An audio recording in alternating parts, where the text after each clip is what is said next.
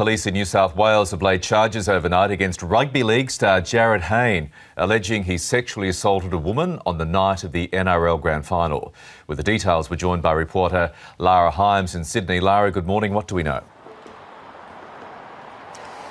Michael, Jarryd Hayne was released in the early hours this morning after he spent time at Ryde Police Station where I am after being questioned for several hours. It was about four o'clock in the afternoon when he handed himself into police. He was accompanied by his manager and he was answering to claims of police allegations of aggravated sexual assault. Police are investigating this incident that allegedly took place on the NRL Grand Final night. This was happening at the end of September. And what police are alleging is that a 26 year old woman who they say is the victim contacted the rugby league star, made contact with him via social media, and he has then gone to a property in the Hunter region where the alleged incident has taken place. Now, with this on this scale, it's actually quite a significant charge because the aggravated sexual assault crimes and uh, ones of this magnitude actually attract a 20 year sentence. So, very significant case on that front.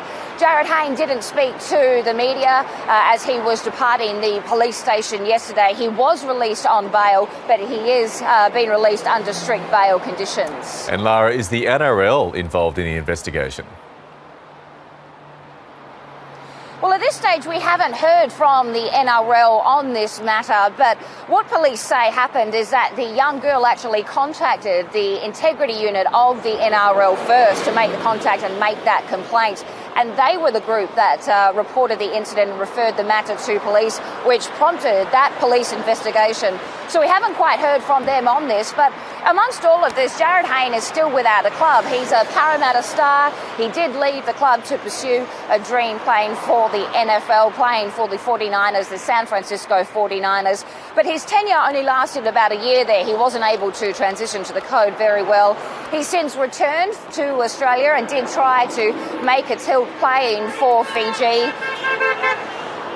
playing for uh, the Rugby Sevens Fiji club, but that wasn't successful either. And there had been talks uh, with the Parramatta club, but under the salary cap, he was only able to be paid about $200,000. And the calibre of player that Jarryd Hayne was is attracting about a $700,000 price tag. So that conversation actually broke down. So we haven't heard from the club or the NRL at this stage. We'll stay across this story all morning. Lara Himes in Sydney, thank you so much for the updates.